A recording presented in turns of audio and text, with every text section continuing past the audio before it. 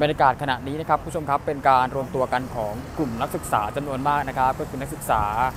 วิทยาลัยราชมงคลอุเทนถวายนะครับนี่ครับก็การรวมตัววันนี้ของกลุ่มนักศึกษาจำนวนมากเนี่ยนะครับ ซึ่งก็เป็นการแสดงเจตจำนงแสดงออกเชิงสัญลักษณ์นะครับ หลังจากที่มีผู้บริหารนะครับของทางอุเทนถวายนะครับมีการเซ็นคืนพื้นที่ให้กับทางจุฬาลงกรณ์มหาวิทยาลัยนะครับ ซึ่งทำให้นักศึกษาจำนวนมากเนยครับอยู่ด้านหลังผมเนี่ยนะครับ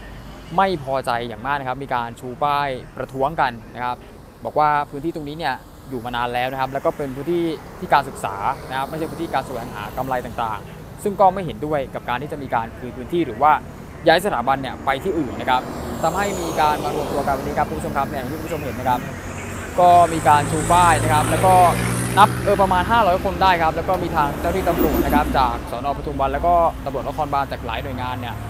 เข้ามาดูแลความเรียบร้อยนะครับ ตอนแรกเนี่ยมีการจะเดินไปที่แยกปทุมวันนะครับ แต่เหมือนว่าทางเจ้าหน้าที่ตำรวจเนี่ยจะไม่ยอมให้มีการเดินกระบวนนะครับ ก็เลยเดินอยู่บนฟุตเออบริเวณฟุตบาทนะครับ หน้าของวิทยาลัยนะครับนี่ครับก็เป็นการแสดงออกเชิงสัญลักษณ์วันนี้นะครับ ของนักศึกษาอุเทนถวายจำนวนมากนะครับที่มีการ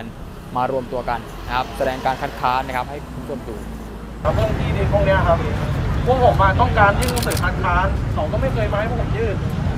วันนี้พวกผมต้องมาเรียกร้องสิทธิครับให้เขาตัวเขาอะมาภายเวลาบ่ายโมงครับเขาทำการไม่ได้ปรึกษาอะไรใครเลยครับทำการเงียบๆพวกเขา แล้วพวกผมอาจจะไปเรียนที่ไหนพวกผมมาอยู่ที่นี่มาเรียนที่นี่มา อะไรอะไรก็ไม่เคยได้เลยแล้วอยู่ดีเขาจะมาเซ็นที่ดินให้ใครอะพวกผมจะได้อะไรอะครับ วันนี้ผมผมอะคือขอเรียกร้องเพื่อที่วันนี้พวกผมจะได้รู้คำตอบ ให้เขามารับหนังสือคัดค้านจากพวกผม และเจ้าคำตอบของเขาครับ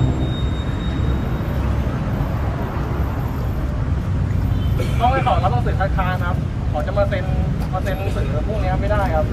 เขาไม่เคยถามคุณนักศึกษาแล้วสิ่งที่พวกผมเสียไปครับนี่นะครับจริงๆแล้วยังมีอีกเป็นจำนวนมากนะครับอยู่บริเวณปลายแถวฝั่งนู้นนะครับ ยืนกันไปถึงบริเวณหน้าประตูของวิทยาลัยเลยนี่ครับแล้วก็มีทางตำรวจนะครับมา ยืนดูแลความเรียบร้อยนะครับในพื้นที่ เดี๋ยวน่าจะมีการแถลงข่าวนะครับผู้ชมครับเกี่ยวกับเรื่อง